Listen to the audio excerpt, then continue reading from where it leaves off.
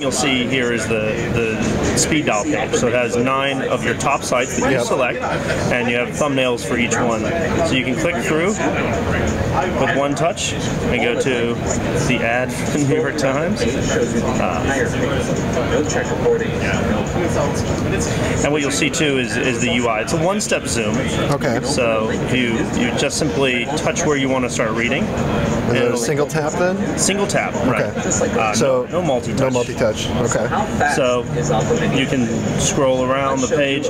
What you'll notice we do is we actually format the text so it actually appears. The column is kind of central on the screen. So when you, Okay, sure. So you can actually touch where on the page you want to start reading, Let the race begin. and Opera Mini will bring you right to that, and so you can immediately begin reading. Sure. Um, now, what sort of uh, text select options do you have for this? Are you able to? You have a long click, Okay. And you have a long click, and then that brings up the Oh, text selection. very nice. And you Okay. can search with, so you can use one of the pre-selected search engines if you want. Sure. iPhone just now starting to show. The other thing to note here, um, you have the find in page. Oh, that's great.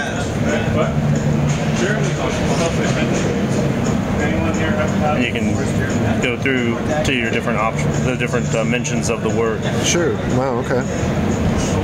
Uh, what else can I tell you about it? You have tabs.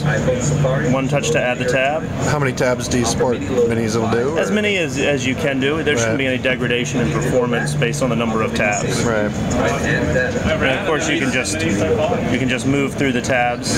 there you go. That was Oh, that's pretty slick. And the other thing to note too is, let's see, melhor. Here's a preview of Opera Mini for the iPhone. Let's now if I close out of the app Opera Mini on the iPhone. Okay. Fast. and bring it back up, Lightning. Even on a two. it remembers there. my session.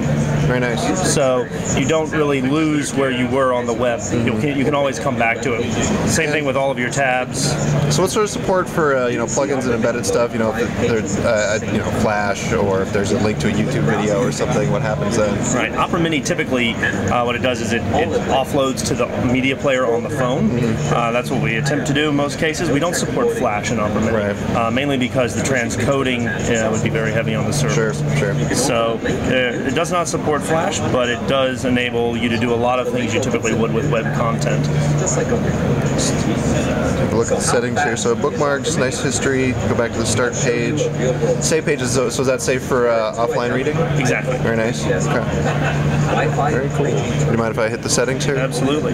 Well, you'll notice we also have Opera Link, which is our synchronization feature. Uh, So you can synchronize your bookmarks, your speed dial with Opera on the desktop or other um, installations of Opera Mini that you might have. Um, you can obviously change the font size, image quality. So if you want to um, load pages a little bit faster, you can reduce the quality of the Right. images, things like that. There's a full screen mode as well. So uh, you guys have announced that you've submitted it to Apple uh, for the App Store today. Today we submitted it. Okay. And um, you're just you're hoping, you're praying, your fingers are crossed. Well, we, we believe, uh, we're, we actually have quite a bit of conviction that it, it should be approved. We believe that we don't violate any of their SDK terms. Okay. Uh, we believe it's a, it's a different experience to mobile Safari in that it doesn't really compete as much as it complements mobile Safari. Um, so, and also, you know, it, uh, it doesn't run native code. So, Okay. because it's, it's basically uh, using a server Right. in between, it doesn't really have any of the, it's not running or interpreting native code on the phone. So we believe it's got every uh, chance of being approved. And so it looks like it identifies itself as as Opera Mini. Ooh, Yes. looks like I broke it. Tried to go. Well, I tried to load a cookie because I, I went to uh, our, our TiPb site and uh, I hit the cookie to give us the full site, so it didn't didn't pull up.